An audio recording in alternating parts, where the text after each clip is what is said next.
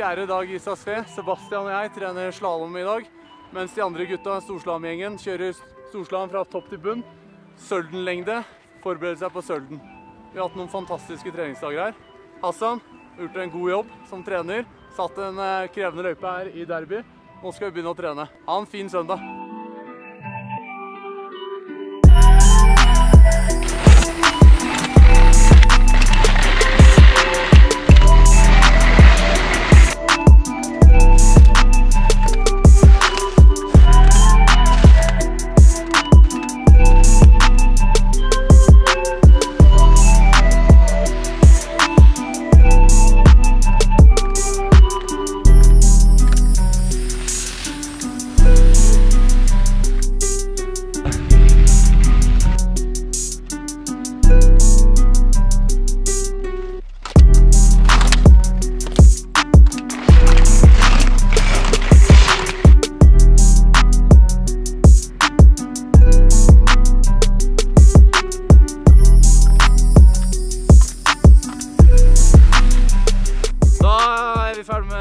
Skidag nummer fire. Det har vært litt for bra, så da tar vi en uh, fridag i morgen.